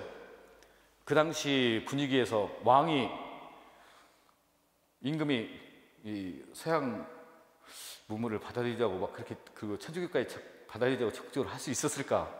나중에 그런 분위기를 보면 그왕 하기 힘들었을 겁니다. 그런 생각이 들어요. 그럼 역사에서는 가정은 없기 때문에 뭐 그렇게 된 것이죠. 서학 관련된 책들이 많이 유입이 되죠. 사실 1500년대부터 서양 책들은 중국을 통해서 많이 들어왔습니다. 음, 뭐 허균 같은 경우에도 이제 그런 서학서를 접했다고 하고 가져왔다고도 하고 그런 얘기가 있죠. 그런데 관심이 없었죠, 솔직히. 서학서가 많이 들어왔지만 관심이 없었고, 이제 18세기 후반이 되면서 그때부터 이제 관심을 가지게 된 거예요. 책들이 막 들어온다고 해서 다 관심을 가지는 건 아니잖아요. 어떤 때가 조성이 딱 되면 그때 이제 관심을 가지는 거죠. 서학서들 중에서는 뭐 과학 기술 서적들이 상당히 많이 들어왔고 뭐 자연과학 계통 산수 뭐 수리 뭐 이런 것들 책들이 들어왔고 그런 것들에 실학자들이나 북학자들은 관심이 많이 있었고 그렇죠. 그거 외에도 이제 사상적인 사상과 관련된 책들, 그건 천주교 책들이죠. 중국에서 예수의 신부님들, 선교사 신부님들이 번역해 놓은 책들, 한문으로 번역해 놓은 책들이 많이 들었습니다. 어, 실제로 들어온 책들이 많이 있어요. 성경에 관한 책도 많이 들어오고, 기도서, 뭐 묵상서 이런 것들이 많이 들어왔었죠. 대표적인 책이 천주시루와 칠극, 천주시루와 칠극입니다. 아까도 말씀드렸지만 1500년대부터 들어오긴 했지만 관심이 없었는데 나중에 조선 후기에 이제 새로운 사상에 대한 그런 것들을 이제 요구하면서 이제 관심을 가지게 되죠. 상호 이익, 어, 이익이 이익되는 것을 많이 하셨죠. 사실.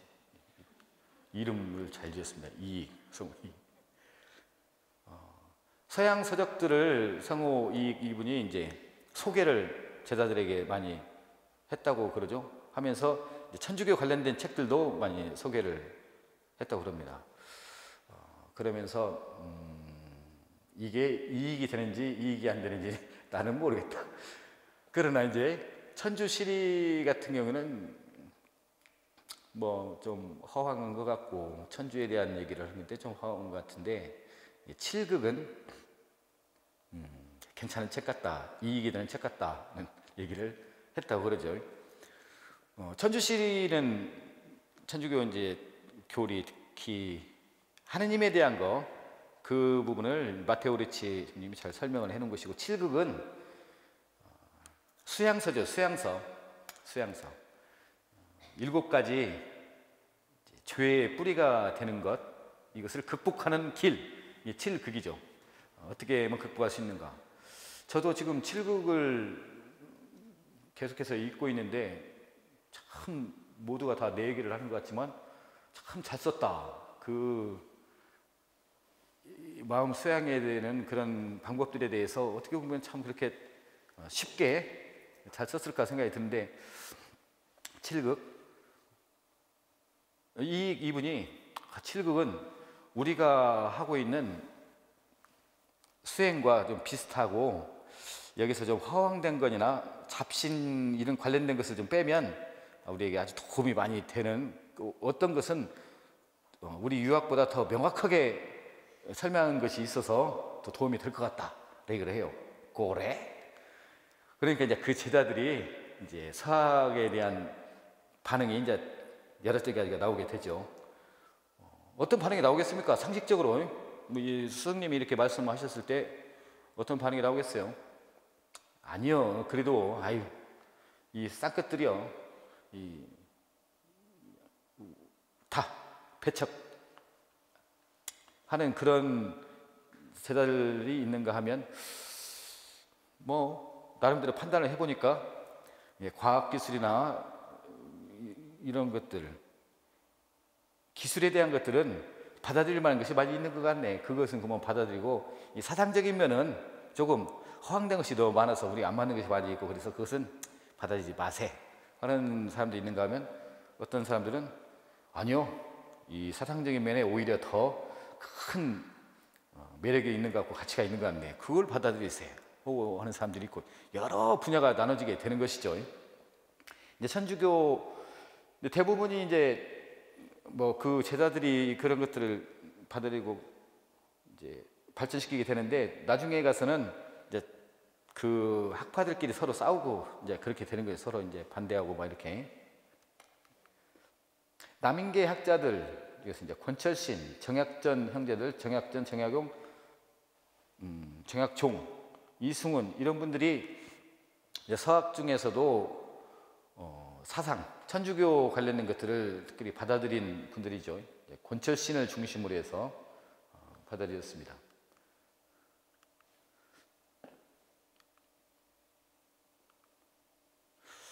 음, 경기도 양근?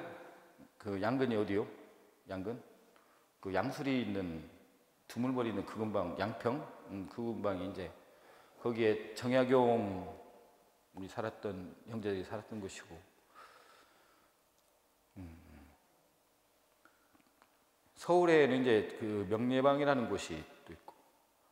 그 양평에서 좀 더 올라가면 주어사 천지남이라는 데가 있는데 그 주어사에서 강학회를 하게 되죠. 주어사. 주어사 강학회가 천주교 모임이라고 얘기하는 사람도 있지만 어, 천주교 모임까지는 가지 않았다라고 얘기하는 분들의 설득력이 더 있죠. 어, 유교를 연구하는 모임의 성격이 크다. 유교. 유교를 연구를 하면서 어, 거기를 천주교 관련된 서적을 보면서 보충할 것이 뭐가 있는가를 어, 논의한 그런 학문 모임, 연구 모임이지 천주교 자체를 연구한 것은 아닌 것 같다. 그래서 주어사 그 강학 그것을 천주교 시작으로 보려고 하는 것도 있지만 글쎄요, 시다. 이제 이렇게 생각하는 것이죠. 그냥 그것은 연구니까. 어, 남인 학자들 중에서 이제 이 유교 이데올로기가 성리학적 유교 이데올로기가 완전히 고착된 이런 사회를 어떻게 하면 탈주자학적인 그런 사회로 만들 수 있을 것인가, 어느 새로운 돌파구를 만들 수 있을 것인가. 그러면서 이제 어, 주자가 얘기하지 않은 공자와 맹자가 얘기했는데 주자가 놓친 그런 것은 없는가. 그래서 원시 유학, 유교, 원시 유학 그것에 대한 관심을 많이 가지게 되죠. 주자 이전에 공자와 맹자가 이야기했던. 그러다 보니까 그 상제 개념을 그 알게 되죠. 상제 개념, 천의 개념, 천주 개념, 하늘의 개념. 근데 상제 그 개념이 상당히 좀 모호한 것이 있습니다. 이 상제가 나오긴 하는데 이 상제 개념이 상당히 모호하다. 그런데 서학에서 얘기하고 있는 그 천주, 그 하느님이라는 것이 상당히 매력이 있는데 이 상제와 좀 비슷한 것 같은데 상제보다 더 분명한 설명이 되고 뭔가 권위가 있는 것 같다. 이런 판단이 세게 돼서 서학에 관심을 가지게 되고 이 유교를 보완하는 그런 입장에서 이제 천주교를 받아들이게 했죠. 사실 상제는 있는 것으로 나오지만 상당히 좀 그 윤리적인 그런 부분에서만 이렇게 다루어지게 되고 어, 좀 모호한 부분이 있죠. 그런데 하느님, 이 그리스도교에서 말하는 하느님, 천주는 명확하잖아요. 그렇죠? 세상을 만들었고 다스리고 법 주고 심판하고 어우 강력하죠. 오 이런 우리가 원하던 거였어. 그렇게 해서 이제 어, 연구를 하고 진행을 시켰는데 뭔가 부족하다는 것을 느껴서 이 이백이라는 분이 어, 이, 이승훈 이승훈 이분을 이제 아버지를 따라서 동지사행에 참여해서 이제 가게 되는데 중국에 가게 되면 서양 신부님을 꼭 꼭 만나서 어, 교리도 좀 배우 갖고 오고 세례 가능하면 세례도 좀 받아 갖고 오고 어, 주는 대로 좀 많이 좀 받아 갖고 선물도 많이 좀 받아 갖고 와라. 오케이, 알았어. 뭐 이제 가가지고 실제로 이제 서양 신부님을 만났죠. 그라몽 신부님을 만났죠. 그라몽 신부님 북경에서. 근데 이제 그라몽 신부님도 처음에는 그 반신반의 했다가 이승훈 베드로 이분이 상당히 관심을 많이 가지고 있고 그래서 교리를 더 가르치고 아, 세례를 주죠. 예수님의 열두 제자인 열두 제자 중에 수제자인 베드로의 이름을 붙여서 이름을 세례를 줍니다. 이승훈 이분에게 세례를 줄 때 이런 얘기를 했다고 그러죠. 이 진짜 세례 세례 받을 겁니까? 세례를 받고 나면 이것 때문에 국왕의 어떤 통치나 이런 것에 반대되는 것이 있을 수 있고 이것 때문에 목숨을 잃을 수도 있는데 그래도 받으시겠어요? 이렇게 물어봤다고 그랬죠. 그라몽 슈님이 이승훈 베드로 이분이 뭐 그렇다 하더라도 받겠습니다. 혹시 어, 이거 받은 것 때문에 혹시 죽더라도 받겠습니다. 라고 받았다고 하는 기록이 있어요. 아무튼 첫 번째 세례자가 이승훈 베드로입니다. 그 이승훈 베드로 이분이 이제 와서 서울에 지금 명동성당 거기에서 다른 분들에게 세례를 주고 이제 신앙 집회를 한 것이 신앙 공동체의 시작입니다. 1784년. 그래서 이때를 한국 전쟁의 시작이라고 하죠. 그러니까 늘어나는 신자들이 늘어나게 되고 어, 그때 세례를 받은 신자들을 중심으로 해서 양반 신자들을 중심으로 해서 이제 음, 천주교를 가르치고 그러면서 많이 드러나게 되죠. 전라도에서는 이제 초남이 진산인데 유한검과 윤지충 이런 분들인데 어, 처음에 신자, 신앙을 받은 사람들은 양반들이 많은데 나중에 양반들뿐만 아니라 평민이나 천민들도 많이 받아들이게 되는데 천주교에 대한 매력 이것이 있었죠. 어떤 매력이 있는가? 이제 양반이나 유학자들 같은 경우에는 보유론적인 근데 유교를 보충해주는 것으로서 아까 상제 개념 이런 것으로서 참 매력이 있고 어, 성리학적인 그런 것에서는 구속력이 없, 잖아요 구속력이 없습니다. 이런 시스템이 있긴 있는데 이 왕이 지키지 않는다거나 이 양반들이 지키지 않으면 안 돼요. 아무리 그런 그 도리가 있고 윤리가 있다 하더라도 안 지키면 뭐 제재할 것이 없습니다.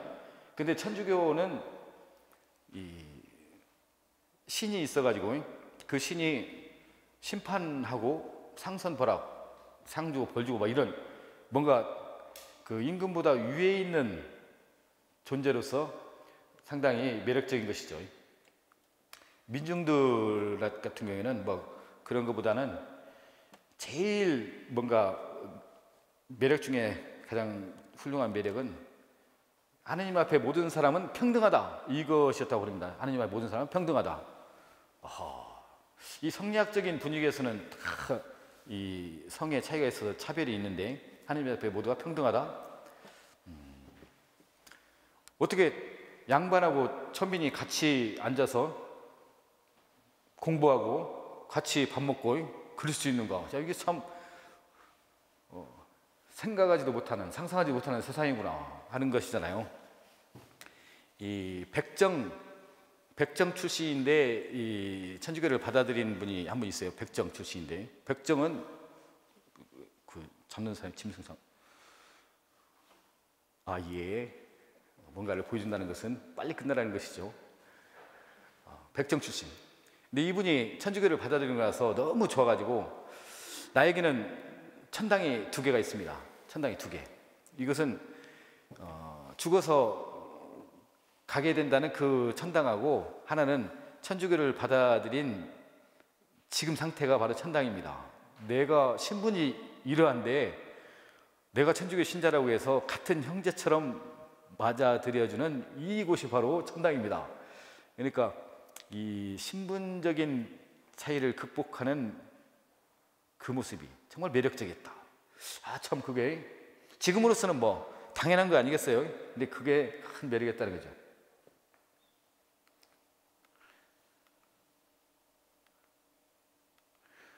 그러면서 이제 불어나게 되는데 처음에는 잘 될 거라고 생각했는데 나중에 이제 충돌이 일어나게 되죠. 처음이 을사추조 적발 사건, 정미 반해 사건 이런 사건들이 있었습니다. 이것은 이 처음에 신앙을 받는 사람들이 이제 명례방에서 또 서울에서 이제 모임을 하다가 이제 적발된 사건인데 그때는 그냥 뭐 쉽게 풀려나고 뭐 별것이 아닌 것으로 이렇게 처리가 됐죠. 사실 근데 정미 반해 사건 때는 좀 조정해서 공론화가 됐습니다. 일부러 고발을 했죠. 아, 이 천주교가 공공연하게 한양 도성 내에서 양반 자제들 사이에서 이렇게 연구되고 있고 논리가 되고 있고 뭐 집회가 이루어지고 있다는 것을 알고 있는 사람들이 있겠죠. 그래서 이게 이게 위험한 거다, 위험한 거다. 이제 서학을 반대하는 특히 천주교를 반대하는 사람들 차원에서는 그럴 수밖에 없겠죠. 근데 그게 크게 공론화되지는 않았습니다. 실제로 공론화된 것은 이 진산 사건이죠. 진산 사건. 아까도 말씀드렸지만 이 양반에게서 일어난 사건이고 제사를 폐지한 사건, 유교식 제사를 폐지한 사건이기 때문에 어, 아니 천주교가 이런 종교였어? 어, 이 참 조선을 통째로 몰락시킬 그런 사회 질서를 몰락시킨 그런 종교구나라고 하는 인식이 생긴 것이 이제 진사 사건이죠. 그 뒤로 1801년에 드러난 대박 청매 사건 그것은 이제 국가를 전복할 수 있는 서양 세력을 끌어들여서 그럴 수 있는 세력이라고 여기게 되는 그런 것이고 아무튼 이 사상적으로 또 물리적으로 뭔가 조선을 해체시켜 버릴 것 같은 그런 세력으로 천주교를 인식하게 된 것이 바로 진사 사건, 그 신의 신유년 박해 때 사건입니다.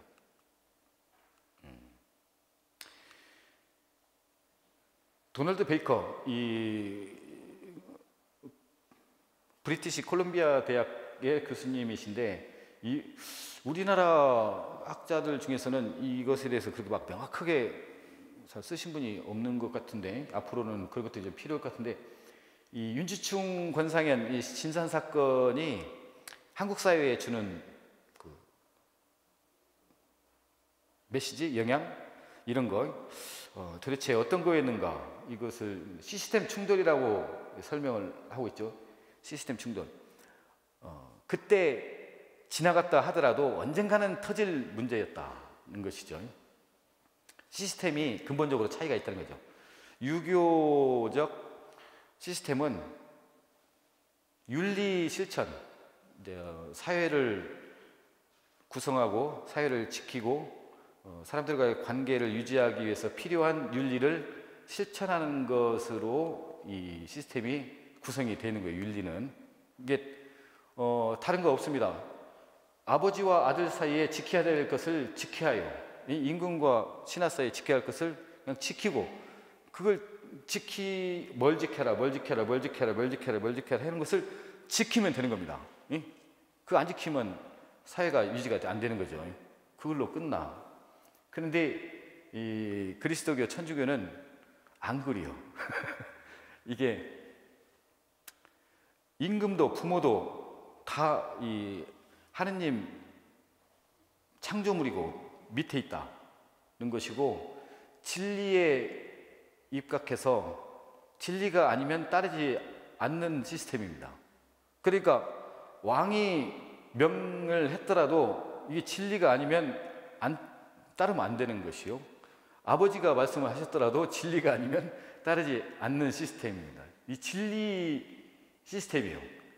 그렇기 때문에 이것은 필연적으로 부딪힐 수밖에 없다고 이분은 설명을 하는데 과연 맞는 것 같습니다. 저도 동의를 하는 부분이 있죠. 어, 윤지충 이분의 공술기를 보면 공술기가 결국은 당신 생각을 이렇게 표현하는 것이잖아요. 표현하는 것인데 사상을 표현하는 것. 공술기의 제일 처음의 부분을 보면 당신이 유학자로서 양반 자제로서 태어나서 어, 했던 것은 임금에게 충성하고 부모에게 효도하고 형제 간의 우애를 지키는 것에 국한되어 있었습니다. 양반 자제로서 유학자로서 할 수 있는 일은 그거였다. 그런데 어, 천주교를 알고 난 뒤로 인간에 대한 것과 하늘에 대한 것을 다 알고 난 뒤로는 이제 하느님을 합당히 섬기는 것, 천주를 합당히 섬기는 것, 그리고 덕을 실천하는 것 말고는 없습니다. 이렇게 답을 하거든요. 그러니까 이게 바뀐 거예요. 어, 그게 그 방향이 바뀐 겁니다. 처음 은 유학자로서 온전히 임금에게 충성, 부모에게 해도 우애. 그렇지만 어, 아, 나중에는 하느님의 뜻을 따르는데 모든 걸 다 바치는 것. 이걸로 규결이 됩니다. 그 바뀐 것이죠. 그리고 중간에 이런 대목이 나오죠. 하느님을, 천주를 일단 아버지로 알아본 뒤로는 그분의 명령을 따르지 않고서는 견딜 수가 없었습니다. 이런 말을 하죠. 그거죠. 어, 명령을 따르지 않을 수가 없습니다. 진리에 의한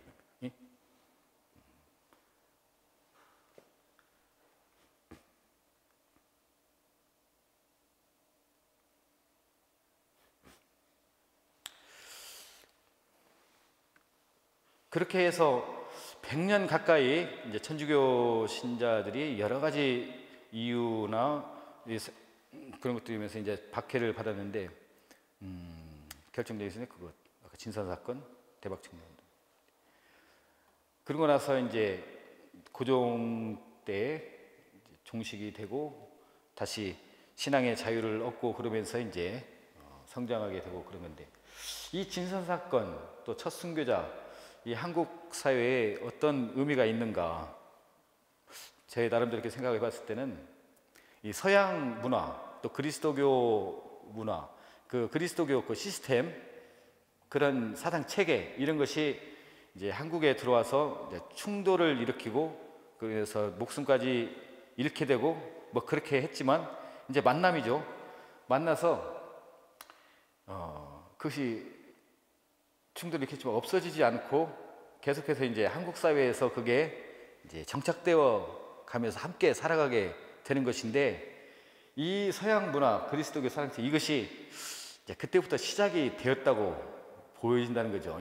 일단 충돌을 겪으면서 이제 계속해서 없어지지 않고 이게 그 시작이 그때가 아닌가 싶습니다. 공론화되고 모든 사람이 알려지게 되고 어, 그런 것에서 진산 사건 첫 순교자가 의미 있지 않겠나. 한국 사회에는 그게 의미 있지 않겠나. 지금으로 봐서는 뭐 그리스도교 사상체나 서양 문화 이것이 이질적이지 않고 정말 어 우리 한국 사회에 자연스럽게 이렇게 여겨지기도 하지만 그것의 시작은 바로 그때가 아니었을까 진사 사건. 그런 의미로 이 첫 순교자 유해나 유물이나 이런 것들이 중요하지 않겠나, 그 장소가 중요하지 않겠나 하는 생각을 해봤는데 이것은 또 좀 더 연구를 해봐야 될 것이지 않겠나. 근데 오늘 문화재 토크 콘서트기 때문에 한번 얘기를 해보는 겁니다. 음, 그래 첫 순교자 관련 사력지와 유물이 가진 의미가 그렇다. 뭔가 어, 새로운 사상이 들고 시스템이 들어오고 그러면서 충돌을 일으키지만 그게 바로 이제 시작이었다. 마지막으로 이제 정리를 하면서 마지막 멘트를 그냥 감사합니다라고 끝내려다가 왠지 좀 부정을 가졌어. 어, 절단과 연결 이런 표현을 한번 써봤습니다. 참 이거 뭐요? 단절이라고 쓰기는 좀 어려운 것 같고 절단 연결. 아, 이, 이, 이- 이런 걸로 한번 마무리 멘트를 한번 해보려고 합니다. 이 사진은 복자 윤지충 파오로의 목뼈 5번 사진이죠. 아까 말씀드린 것처럼 이 참수형의 흔적, 절단된 흔적이죠. 이게 어떻게 남아 있었는지는 모르겠지만 참 그러니까 잘릴 때도 그게 참 남아 있기 쉽지 않은 부분이기도 할 텐데 그리고 이제 5일 동안 국민연시 하고 그다음에 시신을 또 거두고 어디다 매장을 하고 이런 과정 또 위에 발굴하고 하는 그런 과정도 있었고 이게 조각이 그렇게 큰 조각이 아니에요. 근데 그 작은 조각인데 그게 남아 있었다는 것이 참 감사한 일이고 놀라운 일인데 이게 딱 맞춰 보면 딱 맞죠. 어쩌면 이 면은 절단이죠, 절단. 어, 참수형.